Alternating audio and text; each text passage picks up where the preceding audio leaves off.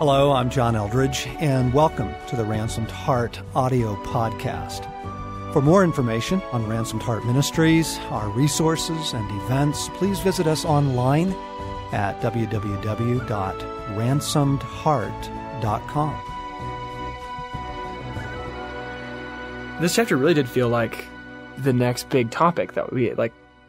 There's college, there's graduation, and then the very next thing that hits you is money and work and how do you get through the day and, and how do you pay for things? Navigating the world and trying to understand the difference between, you know, kind of the new American capitalism and young guys selling, you know, software or an app or game and, you know, making millions as compared to the new minimalist movement, which says, no, give away everything you own, keep one, one shirt. And that's real Christianity. Welcome back to the Ransomed Heart podcast. John Eldredge with my son Sam here for week two, reading to you some excerpts from our new book, Killing Lions, a guide through the trials that young men face. This week's chapter is about money. Chapter 2 Bouncing Checks. I'd like to live as a poor man with lots of money. Pablo Picasso. The errand runner job I took hardly seemed to be what I had been working toward in college. I took it to pay the bills, and because they were the first people to return my emails. Four years of higher education, and I found myself returning cat food.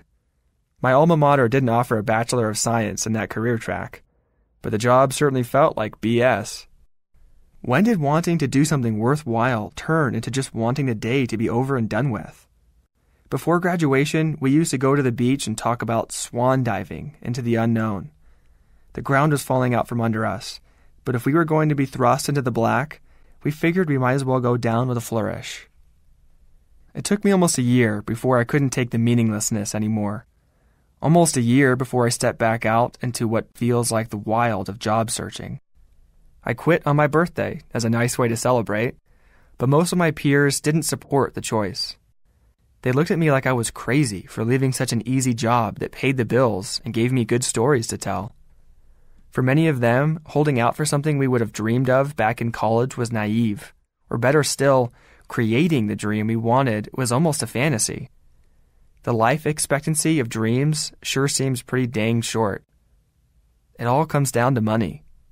I've got friends who are chasing the American dream, friends who are opting for the new minimalist movement, and friends trying to do both at the same time.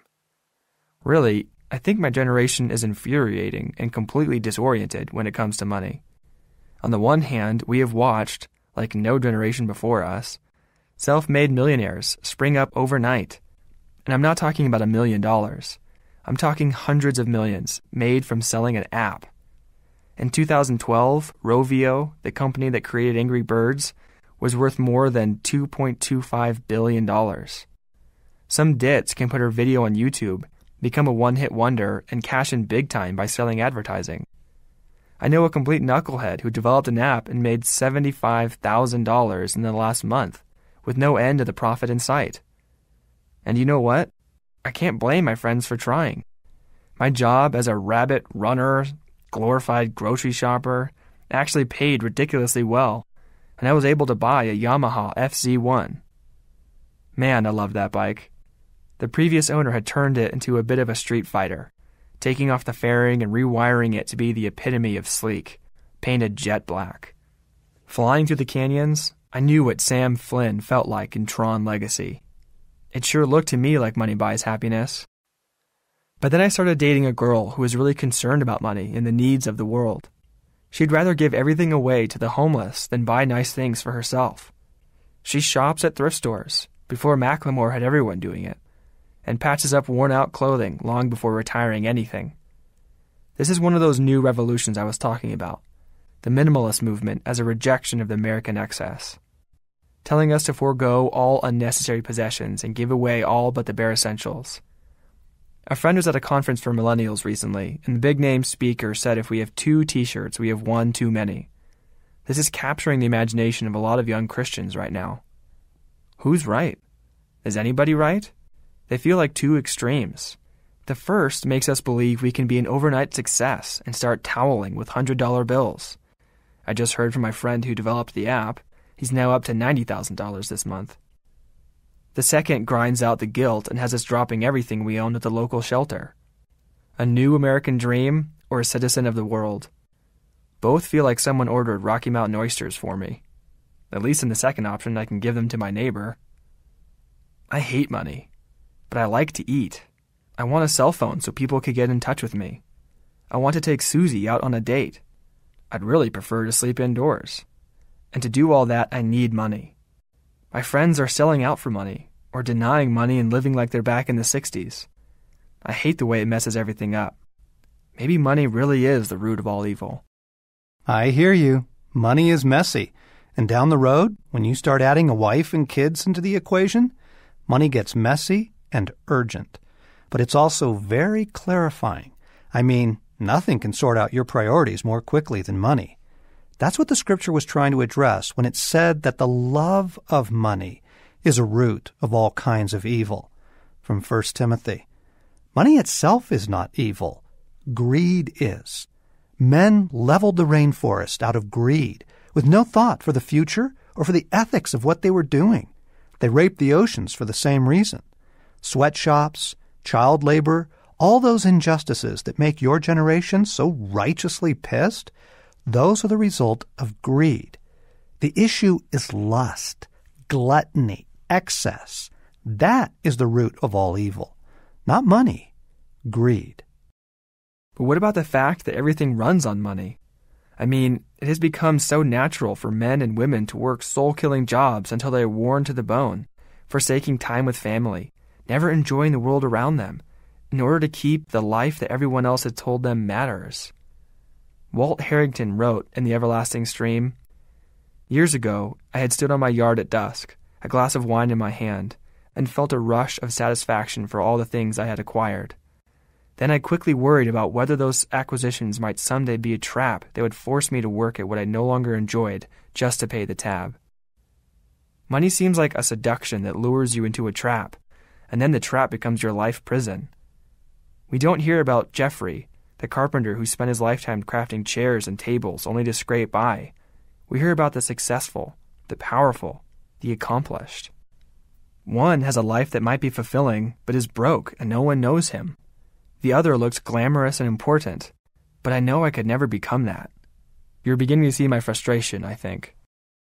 That is the world you are ranting against, and rightly so. The world came up with strip malls, strip mines, and strip clubs. The world is governed by injustice and excess. But making money is not necessarily of the world. God said a generous man will prosper. He who refreshes others will himself be refreshed. A generous man will himself be blessed, for he shares his food with the poor. From Proverbs. One of the great joys of making money is having something to share. But you can't share what you don't have. The more you have, the more opportunity you have to do good. Some friends at church really wanted to adopt a child from overseas, but they couldn't afford it. Money can be the means to great redemption if you have it. Let's compare the world and the kingdom of God. Money is one of the dramatic places where the difference between the kingdom and the world shines brightly. The world is driven by what Aristotle called mimetic desire. It works like this Two little boys are in a room. One picks up a ball and begins to play with it, and suddenly the other boy wants that ball too. You see it every Christmas. There is the one thing everybody has to have. People get trampled on Black Friday because of mimetic desire. People want what other people seem to be enjoying. The entire system is built on envy and endless consumption. The world says money equals happiness, so spend your life chasing money. Jesus stepped into the madness like the one sane man in a building on fire, calmly pointing us to the exit when he said, No one can serve two masters. Either he will hate the one and love the other, or he will be devoted to the one and despise the other. You cannot serve both God and money. And therefore, I tell you, do not worry about your life, what you will eat or drink, or about your body, what you will wear. Is not life more important than food, and the body more important than clothes? Look at the birds of the air. They do not sow or reap or store away in barns, and yet your heavenly Father feeds them. Are you not much more valuable than they? Who of you by worrying can add a single hour to his life? And why do you worry about clothes? See how the lilies of the field grow? They don't labor or spin, and yet I tell you that not even Solomon in all his splendor was dressed like one of these. If that is how God clothes the grass of the field, which is here today and tomorrow is thrown into the fire, will he not much more clothe you, O you of little faith? So do not worry, saying, What shall we eat? Or what shall we drink? Or what shall we wear? For the pagans run after these things, and your heavenly Father knows that you need them. But seek first his kingdom and his righteousness, and all these things will be given to you as well. From Matthew chapter 6. So then, the minimalists are right. We shouldn't even be thinking about money or having stuff. Well, kind of. When the scripture tells us that if you have two coats, give one to the poor, we need to notice the math. You cannot give someone your extra coat until you first have an extra coat. You can't help the poor if you yourself are poor. And wouldn't you like to do that more than once in your life? So you will need a means of procuring extra coats. If you have the resources, you can do a great good. I think the minimalist movement is one of those examples of a really good desire taken out of context. As G.K. Chesterton warned, when a religious scheme is shattered, as Christianity was shattered at the Reformation, it is not merely the vices that are let loose. The vices are, indeed, let loose, and they wander and do damage. But the virtues are let loose also, and the virtues wander more wildly, and the virtues do more terrible damage. The modern world is full of the old Christian virtues gone mad. The virtues have gone mad because they have been isolated from each other and are wandering alone. I respect the virtue of the minimalists, but like the hippies of the 60s, this is a childish notion of how the world works. What is it, by the way, with your generation's fascination with the 60s? It was a disaster. Just because a movement seems humble or noble doesn't mean it represents the kingdom of God. Communism promised the working man a fair shake, but in the end, it destroyed the economies of every country that tried it, and the people most hurt were the working class. I was driving through a lovely village in Slovakia a few years ago where a friend lives. All around the town square, there were these empty shops. This is where the craftsmen used to work and sell their goods, Bo explained. Lovely goods. But communism destroyed those shops, and the trades, too.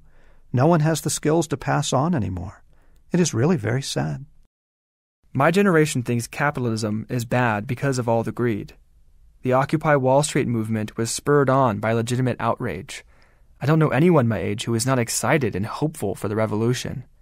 But now that legislation has passed, it is the prolonged riot that is close to illegal not the manipulation of funds and flat out thievery being committed by CEOs and stock managers.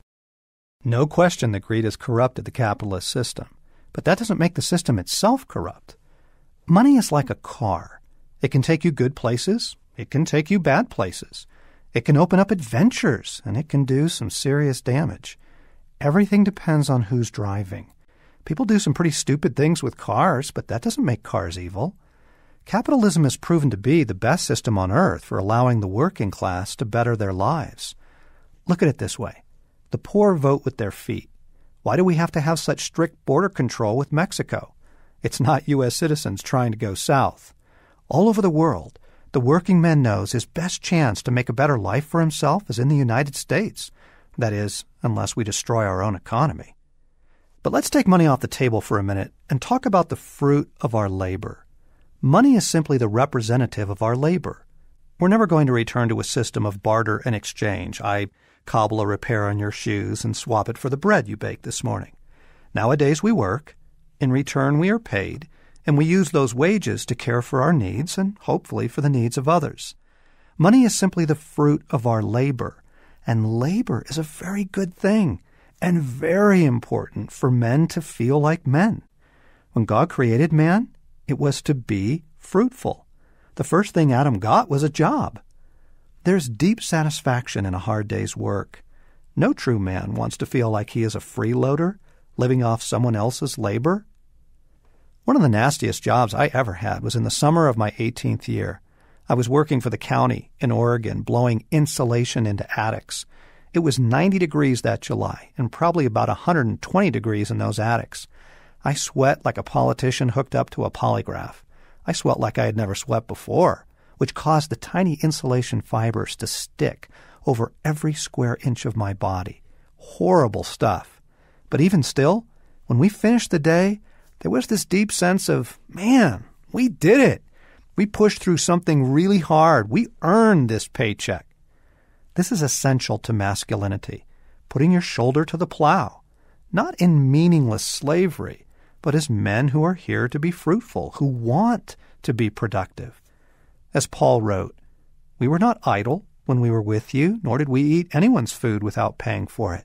On the contrary, we worked night and day, laboring and toiling so that we would not be a burden to any of you. We did this not because we do not have the right to such help, but in order to make ourselves a model for you to follow. For even when we were with you, we gave you this rule If a man will not work, he shall not eat. From 2 Thessalonians. I think I should probably be honest and admit that often it isn't the job that I don't like. For a long time, it was work in general.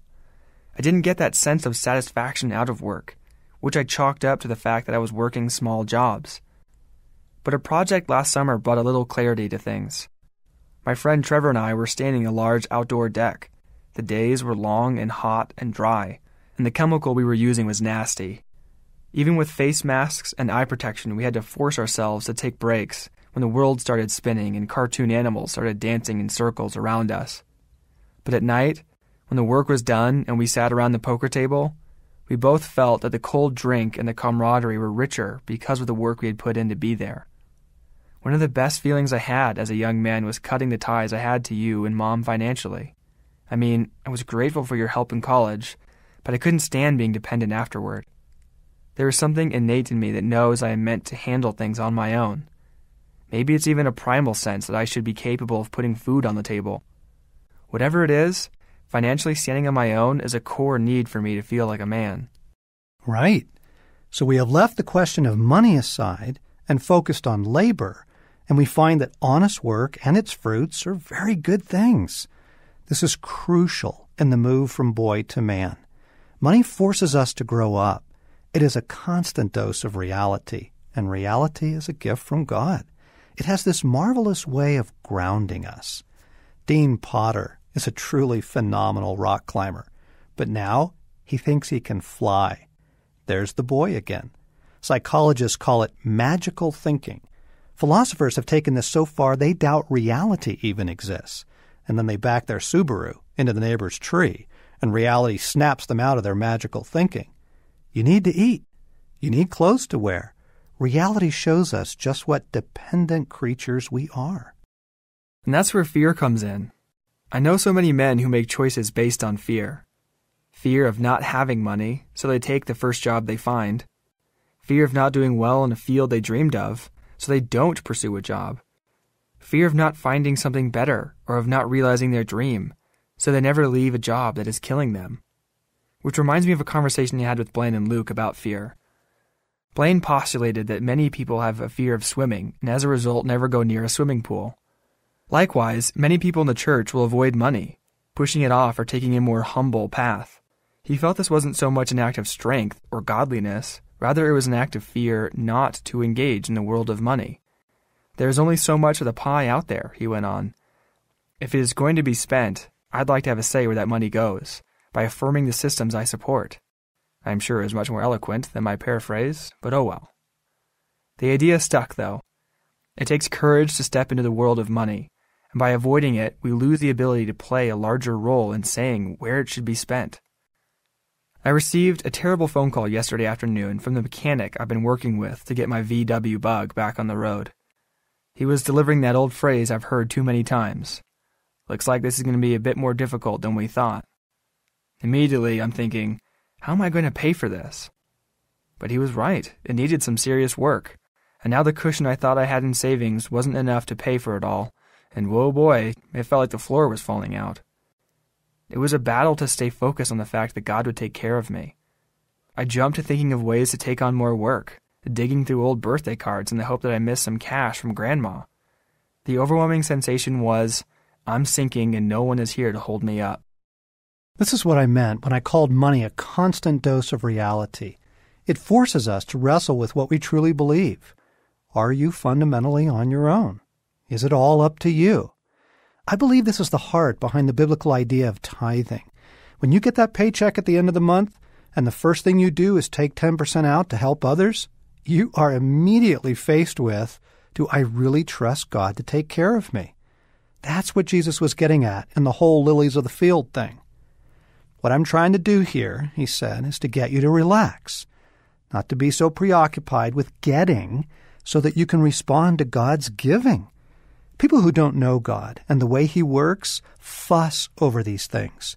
But you both know God and how He works. Steep your life in God reality, God initiative, God provisions. Don't worry about missing out. You'll find all your everyday human concerns will be met. From Matthew chapter 6.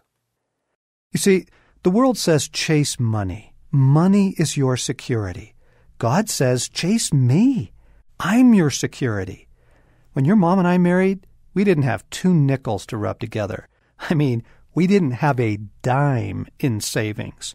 All our furniture was borrowed or given to us.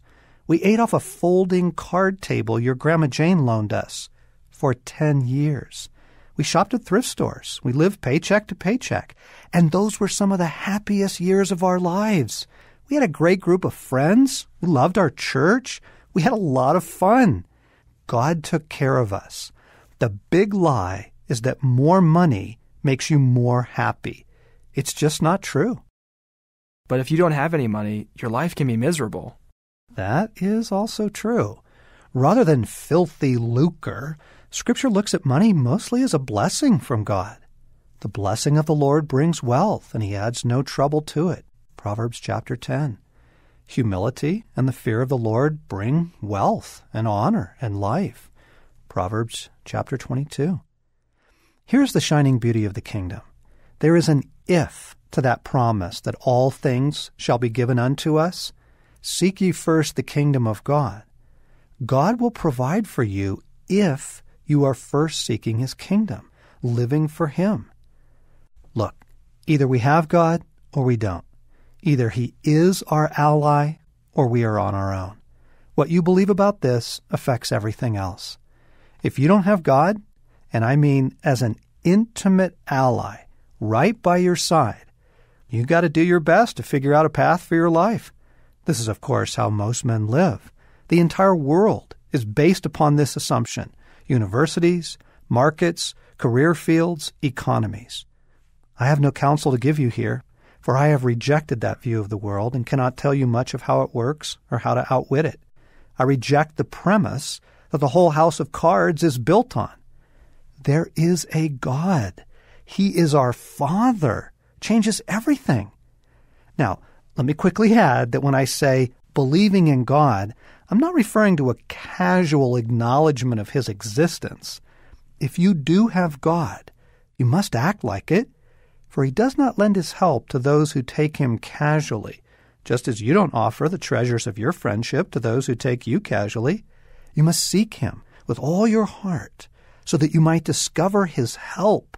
Align yourself with where and how he is moving, and take advantage of all he is bringing you. God promised us, but if you seek the Lord your God, you will find him if you look for him with all your heart and with all your soul. Deuteronomy 4. However, there is a condition in that promise. If you seek him with all your heart and soul. Most Christians forget that part and then wonder why God doesn't seem to be more present in their lives. Yeah, we really do. A couple of months ago, I got an email from a buddy of mine that said, I don't know how I didn't realize it before today. How could I have been so blind, so numb to my own senses? It seems so obvious to me now. How else could I explain what I've experienced here? The smell, the rancid stink that wafts in through the open doors, that they attribute to the ocean, but do I detect the slightest hint of sulfur? The people, miserable souls clinging to their entitlements as if those small perks they are so used to receiving could ever save their souls. They scream and shriek, claw at the air, gnash their teeth, demand fair treatment as if they deserve it more than anyone else. It is my punishment to endure their cries, and it is their sins of gluttony, greed, pride, vanity, and wrath that have brought them here. All I can do is ask myself what heinous sin I've committed in my past to face such a punishment this severe. I don't know how I didn't realize it before today. I work at hell. My reaction upon reading this? I laughed, and without hesitating, a yep popped up in my head. Not that his job is worse than anyone else's, but I understood that he is far from where he wants to be, where he dreams of being, but he needs to pay the bills. So, what do I say to my friend? Is this just something to be endured? If we are just working to survive, or, as Calvin's father would say in Calvin and Hobbes, if we are building character, what happens to our dreams? Obviously, we've been told to chase our dreams. Over and over again, every high school and college graduation speech challenged us to reach for the stars, as though they had just stumbled upon an original metaphor. But all the while, we weren't given much on becoming the people who could handle the dream when we got there. Probably because Disney didn't think it had the right musical ring to it. What I want to say to your friend is for now, just for now, you have a future. You have a father who loves you.